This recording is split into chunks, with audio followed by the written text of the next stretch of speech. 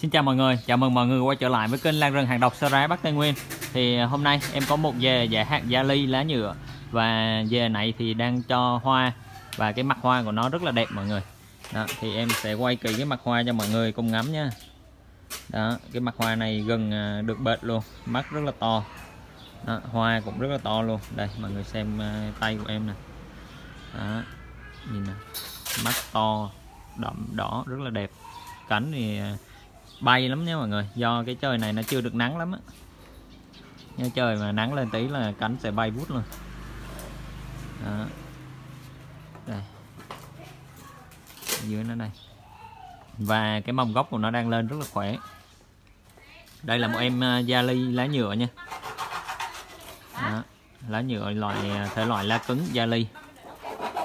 Đây đây là cái à, uh, dề nó bóc rừng này đây là dề mới bóc rừng về nhé thân da thì được 1 2 3 4 bốn cái thân da. Đó, thân da rất nhiều nên đẩy cái mâm gốc lên rất là khỏe. Đó, mầm gốc đang lên.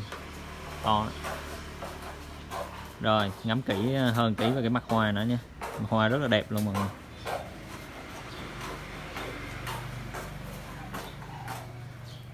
Rồi à, các à, bác và các anh chị nào có nhu cầu mua cái dề này thì liên hệ tới số điện thoại em để trên tiêu đề nhé. Và giá em cũng sẽ để trên tiêu đề luôn. Rồi một mặt hoa gia ly rất là đẹp. Thơm lắm mọi người. Cực kỳ thơm luôn. Rồi, nắng lên nè nắng lên thì nhìn à, cái màu nó đẹp hơn.